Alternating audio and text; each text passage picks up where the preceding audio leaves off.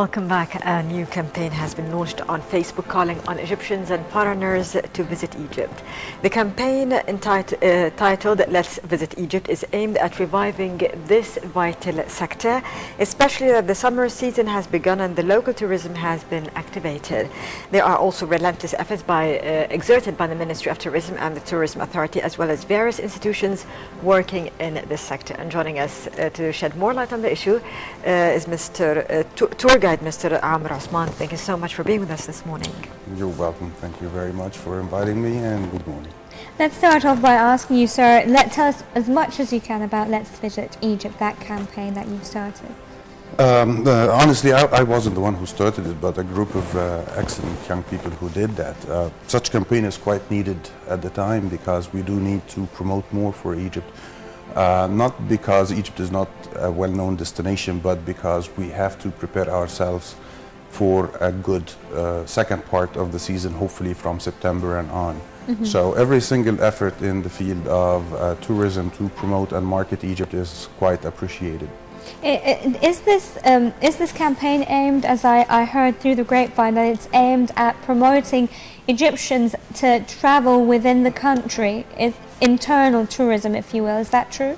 Um, I do think so. It is true, and it is quite important to uh, promote Egypt even among the Egyptians, as um, unfortunately quite a lot of Egyptians do not know that much about uh, the various destinations and the various sites that could be visited and how beautiful it is. So uh, we really need to reintroduce Egypt uh, on a different level to the Egyptians themselves uh, we do need definitely to have a good infrastructure to serve the Egyptian clientele exactly like the foreign clientele. So mm. if the Egyptians would travel around Egypt, I think their own experiences will be quite a magnet to non-Egyptians to come and share with us the beauty of this country.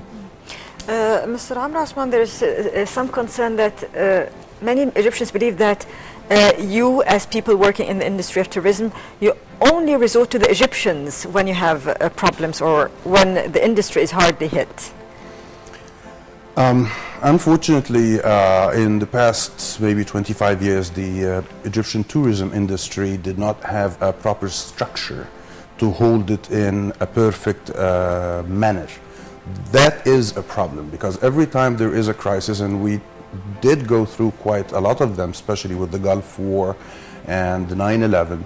Uh, it was always like a very big surprise. We did not have a proper uh, scenario to what should have been done. And uh, I think that this time it's the right time to rearrange the house from within uh, before we start asking for more tourism to come. Egypt, as a destination, uh, we call it in the business a classical destination, meaning that every traveler around the world has to visit Egypt. So the idea of having clients coming into Egypt is an ipso facto. It's going to happen. All what we need to do is to prepare the house within in order to be ready to serve them up to the international standard, if not better.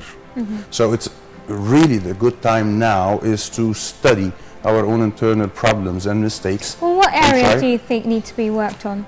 I think we do have uh, major problems in, uh, let's say, the part that's concerning the uh, Nile cruise and the visiting of the ancient uh, Egyptian sites, starting from Abydos all the way to Abu Simbel.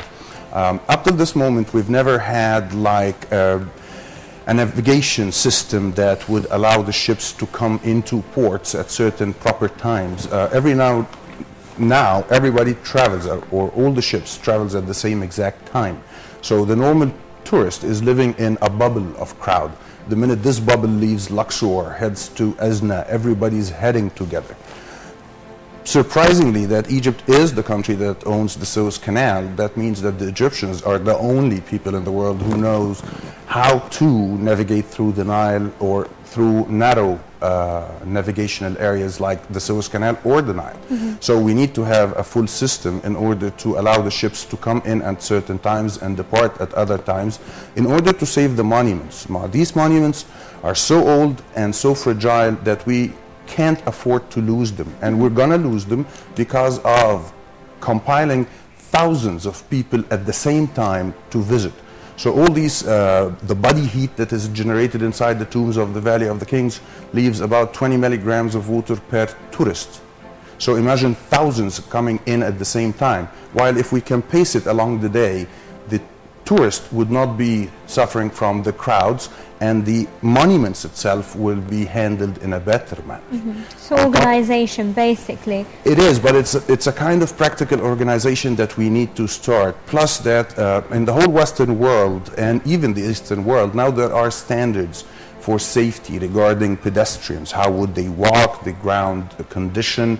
We do have uh, people who are incapable of uh, going through lots of physical activities, so they might use an aid like a wheelchair. The areas And has I noticed that Egypt isn't very well equipped when it comes Unfortunately, but we have to in order to attract the proper clientele. Uh, we cannot just assume that people are ready and willing to go through all these problems. Uh, why don't we make it easier so we would attract more clients? Uh, Mr. Amr Osman, the Minister of Tourism, and Minister uh, Munir Fakhri Abdel uh, they have been engaged in aggressive, ambitious campaigns to re-attract um, tourists to Egypt. How successful um, have been these efforts so far? I think these efforts have been quite successful. Uh, the point is uh, that we do need perfect marketing plan uh, based on quite scientific parameters. And of course, uh, His Excellency the Minister is quite a person in the field of management, so I'm sure that he's going to carry it out. But on the other hand, uh, we did receive a very clear note from most of the companies that the minute Egypt will have uh, its own leg- legislative body as the parliament and the president, everybody's coming back, business will be back online. So uh, the revolution itself actually was a huge uh, campaign to market Egypt because everybody around the world knew everything about Egypt and how beautiful the country is and how even more beautiful the people are. So everybody now wants to come. Even our own companies uh, around the world started asking, can we arrange a day at Tahrir Square to take the people around and show them how things happened? So these efforts are quite uh, excellent. Uh, we need more of that. We need to have deeper uh, campaigns of marketing. We need to go into schools, teach them about Egypt. We need to go into universities, into any kind of human congregation. And I'm quite definite that tourism will come back the minute we would arrange everything uh, within the house first. We know that you've got 22 years of experience under your belt. Do you think there are still hidden treasures in Egypt that haven't been tapped into or haven't been given the necessary attention? Um, I would agree absolutely with you. Um, Egypt still has lots of great things still hidden under the ground. There are lots of studies now even discovering things through usage of satellites, very sophisticated satellites. There are areas that we haven't even given it uh, the proper attention. So uh, I do believe that we do need to restudy Egypt again and present everything in a perfect way. And I think that we are quite successful at the uh, ecotourism, but we do need to preserve our ecosystem in various parts of the country in order to attract more. But nowadays, uh, ecotourism, diving, safari, uh, bird observatory or observation, uh, all these are quite uh, an excellent thing. And we definitely need to uh, prepare everything for the attraction of more tourism. Mr. Amr Osman, many believe that it's not only about campaigns that will attract uh, tourists back to the country, but rather offers by hotels, by resorts. Uh, I mean, uh, um, tourists will need numbers. I would agree Facts with you. ground I would agree with you on this theory that tourism need numbers, but we have to be more scientific and specific in classification of tourism. In Egypt, uh, mainly we have uh, educational or culture tourism, which is the area that is concerning the ancient monuments and all these uh, parts of the country that would be. Uh, uh, very important locations for this kind of tourism. But we do have tourism uh, for beaches. So for beaches and all these areas, yes, we do need to have very aggressive campaigns. The idea is not an offer. Unfortunately, Egypt now is being sold so cheap that I think as an Egyptian it would be better to invite the tourists for free. At, at least this would be much appreciated and people would like it. But it's not the idea of Egypt's price, it's Egypt's readiness and preparation to serve.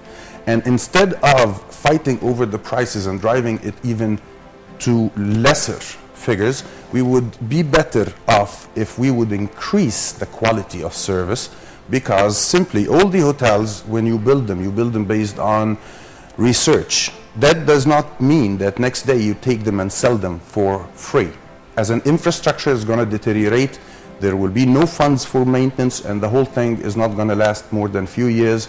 On top of that, it will leave a very bad impression on international tourism that our quality is not uh, a high quality. So I think by increasing the quality, we can attract more than by lowering the prices. So you're definitely saying that lowering the price is not the way to go. And although I've, I've heard a lot of people share you share this opinion with you, but then where where is it that we're going wrong with the services? Why can't we lower? Why can't we uh, aim, for example, with luxury tourism? Why is that still lacking? Unfortunately, uh, about maybe 15 years ago, uh, quite a, a, wrong theory came into existence talking about uh, the supply and demand. Mm -hmm. And this is a good theory for business, but not in tourism, not with our ancient sites, for a very simple reason. If you have another country that has Valley of the Kings or Abu Simbel or the pyramids, okay, so let us compete with them. We don't have competition. We do need to increase our own quality, increase the pricing, because tourism has to leave a good social impact on the people. So if we would keep on attracting very cheap uh, tourism, this would not leave any good impact on the society as people do not have a high level of uh, uh, expenditure. They don't have even a high level of understanding of the importance of these magnificent sites. Well, I heard that there's a problem with the rate of return. Why do you think that is and how can we avoid that from happening in the future? In order to have a perfect uh, level of return, you need to have an excellent quality that everybody will come back to what is tourism? Tourism is an activity you do when you are at your best or at your worst. You want to clear your mind. You want to relax. You want to enjoy. You cannot do all these things if the quality is so poor and people getting sick because of poor hygiene or people falling down on unpaved grounds. But if you would have a very high quality handling to the customer, the customer will definitely love the destination and would have very good friendship with even the staff that will attract him or her to come back. Mm. So we do need to leave a good impression. Somebody comes in, enjoys a magnificent tour, or even uh, a stay by one of our beaches, loves the staff, loves the quality, and then he will or she will again come back uh, every single year. Okay, Mr. Amr Osman, veteran tour guide, thank you very much for coming in. You're welcome. Thank you very much for inviting me. Thank you. Thank you very much. The uh, Mexican ambassador in Egypt